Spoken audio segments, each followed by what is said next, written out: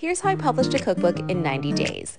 For the launch of my protein powder, I wanted to show you how I like cooking with protein. This whole project started on January 9th, and I actually can't believe we pulled it off. It started out with recipe development. I wanted to make sure we had a good mix of sweet and savory recipes. Oh, and Erin is a professional protein chef, if you couldn't tell. Next, Brittney helped me decide the look, feel, and design of the entire cookbook. We were going for a homey, sweet, feminine 70s vibe, and that really came through with the fonts, the patterns, patterns and the colors we chose for the book. Then the recipes went to Kateryna, who redid every single one, styled them, and then shot them. Breanna then retested all the recipes and then calculated the macros as our resident registered dietitian. Meanwhile, Sam shot the cover photo as well as the lifestyle photos you see inside. I did the food styling and fashion styling, but let's be real, the star here is actually Sir George. Everyone was so focused and working at supersonic speeds, I still cannot believe we actually got this done in time.